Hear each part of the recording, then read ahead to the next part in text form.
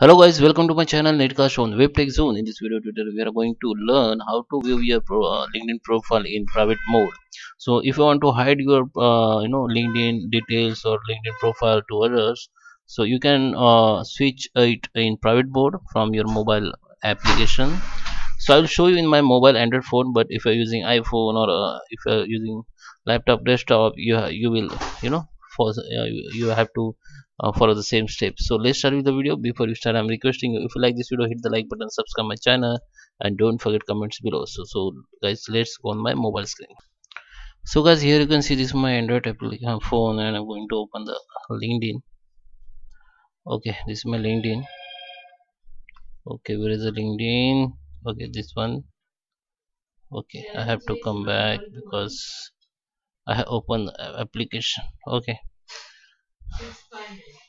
you can see this is my uh, linkedin application and if i want to switch or view my uh, linkedin profile in private mode i have to click on this uh, my photo. Then just click on settings. In setting you will have many options like you know account preference sign in security visibility.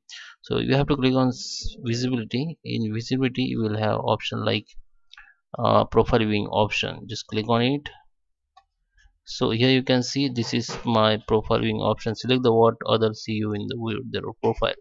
Select what others see when you have viewed their profile. So this is profile viewing uh, option. Uh, this is by default option. And this is private profile option uh, uh, characterize this is private profile characteristic audio visual specialist on youtube. Okay. So here you can see the private mode. You will be in complete private mode selecting private profile character or private mode will be disable whose video profile and erase your viewing history.